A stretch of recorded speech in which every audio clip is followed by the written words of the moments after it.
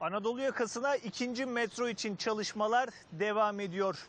Şu anda biz o çalışmaların yürütüldüğü noktalardan birindeyiz. Ümraniye'deyiz. Yerin altında çalışmalar aralıksız devam ediyor demiştik. Yerin altındaki ilk tünel için yaklaşık 500 metrelik mesafe gidildi. O çalışmalar şimdi yerin üzerine çıkmaya başladı. Biz neredeyiz? Üsküdar'da Alemdağ Caddesi'nde. Görüyorsunuz şu anda cadde bomboş. Neredeyse hiç kimse yok. Araç yok. Her gün yüzlerce, binlerce araç buradan geçiyordu ama şu anda araçlar geçmiyor. Çünkü burası araç trafiğine kapatıldı. Kapatılma sebebi ise hemen gördüğünüz şu noktada bir istasyon inşa edilecek ve o istasyon için bu cadde uzunca bir süre yaklaşık bir yıl boyunca trafiğe kapatılacak. Aralıklarla da açılma durumu gündemde. Dün akşam saatlerinden itibaren kapatıldı. Normalde açıktı buradaki trafik ve gördüğünüz bu barikatlar yoktu. Ancak bunlar dün gece yerleştirildi ve araç trafiğine kapatıldı. Şu anda bulunduğumuz noktada yayalar var. Ancak bu yaya geçişlerinin de önüne geçilecek. Önümüzdeki günlerde burası tamamen kapatılacak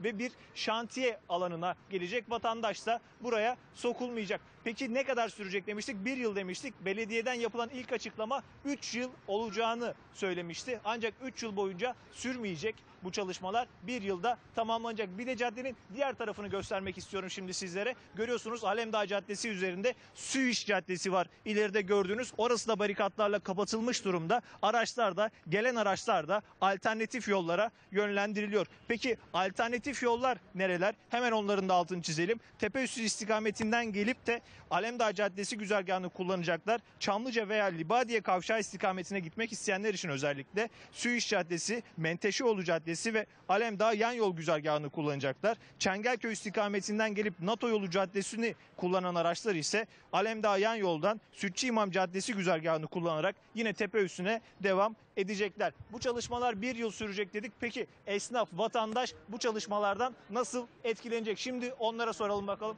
Gündemleri de onların burada yapılan çalışmalar. Efendim kolay gelsin. Merhabalar. Siz kolay burada esnafsınız. Ee, buradaki çalışmaları nasıl değerlendiriyorsunuz? Yaklaşık bir yıl boyunca kapalı kalacak bu cadde. Evet. Ee, buradaki çalışmaların bir an önce gece gündüz çalışılarak bitirilmesini den yanayız biz esnaf olarak. Mağduriyetimiz ancak bu şekilde giderilmiş olur. Çünkü ister istemez olumsuz yönde etkileneceğimiz ortada. Ee, bir an önce bitirilsin ee, bizim istediğimiz bu. Peki buraya metronun gelmesine nasıl bakıyorsunuz? Sizce faydalı olur mu? Çok sıcak bakıyoruz tabii ki. Her tarafa metronun gitmesi çok faydalıdır. istiyoruz yani. Teşekkür ederiz sizlere de. Efendim siz neler ederiz. söylemek istersiniz? Burada yıllardır esnafsınız bildiğimiz kadarıyla. Evet.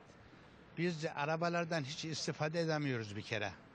Bir çorba içerken adam 70 lira ceza ödüyor. Bunun önünü aldılar. Onun için arabadan kurtulduk. Rahat, temiz, sakin bir hayat devam ediyor. Biz de bir an evvel bu işin bitmesini arzu ediyoruz. Başka bir şey yok. Çok teşekkür ediyorum sizlere de. Görüyorsunuz esnaf bazı hepsinin ortak bir dileği var aslında. Onlar bir an önce buradaki çalışmaların bitmesini istiyorlar. Bu hat üzerinde biraz da bilgi vermek istiyorum sizlere. 20 kilometrelik bir hat olacak Üsküdar'dan Sancaktepe'ye e, kadar gidecek e, bu çalışmalar sebebiyle 16 istasyon bulunacak ve zaman içerisinde burada yapılan Alemdağ Caddesi üzerinde yapılan çalışmalar gibi 16 istasyonun diğer noktalarına da yapılacak. Onlarda da aynı süre yaklaşık bir yıl süreyle e, kapatılmalar olacak. Ancak bu kapatılmalar 3 yıl içerisinde yani inşaatın tamamının bulunduğu 3 yıl içerisinde peyderpey yapılacak deyip sözü yeniden sana bırakalım Serap Belet.